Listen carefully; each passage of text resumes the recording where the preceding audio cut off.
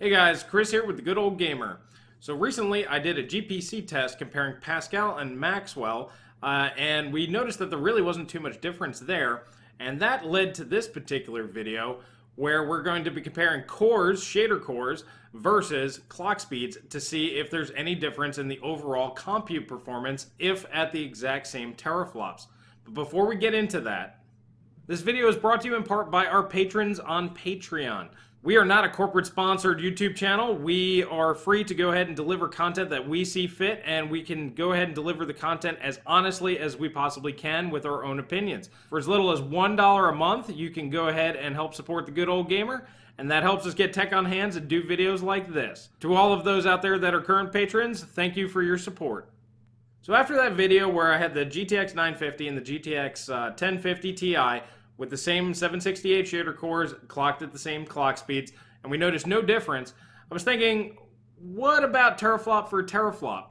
So I had a GTX uh, 970 on hand, and I was able to get my hands on a GTX 1070 or 1060 rather, and I was able to get both of these running at the same 4.8 teraflops. And what sort of performance difference would we have there? Would a higher core count lead to a faster overall frame rates, or does the higher core speed? So to me, this is pretty interesting because a lot of people think, oh, teraflops doesn't matter how you get there, it all means the same thing. Now we're talking about virtually the same architecture, which I already proved that core for core and clock for clock will perform exactly the same. Just because it's teraflop for teraflop, that really doesn't mean jack. So let's go ahead and check out some of the specs here. Alright, so to get these running at the same 4.8 teraflops, I had to take the 1664 shader core GTX 970 and clock that at 1443 megahertz. Now, I also wanted the RAM speed to be identical, so this way that there was no advantage. So by underclocking the GTX 970's RAM to 6 gigahertz with the 256-bit bus, that got us to 192 gigabytes per second total bandwidth. Now on the 1060, we have lower shader count at 1280. Now technically 1875 is the proper speed to get it to exactly 4.8 teraflops. Getting it to 1873 is the closest that the GPU would go. So we're talking very minuscule amounts of percents there. Um, now, the GTX 1060 does have more memory, so we did limit all games to using 3.5 gigabytes of VRAM or less. Now, RAM speed, we're running at the full 8 gigahertz on the 1060, which still nets us the same 192 gigabytes per second because of the lower bitrate on the bus speed. And of course, because of the clock speeds, the teraflops between the two are identical. Now, for this testing, all benchmarks were run at 1440p. Now, we went ahead and kept everything at high, and if you'll actually see the detail settings listed on each game. Now, I had to go ahead and do that to make sure that we didn't run over the 3.5 gigabytes available on the GTX 970. As we all know, technically there's 4 gigabytes there, but then that leads to performance issues. And to eliminate any sort of GPU throttling because of RAM, we went ahead and just decided to lower settings. That's why we're running them at 1440p because at those resolutions, these GPUs are stressed to the max. No CPU bottlenecking was observed. Everything was running at 100% GPU load the entire time. As always, we're using our standard Ryzen test bench, but for all that information, please check the description below, and let's go check out some benchmarks.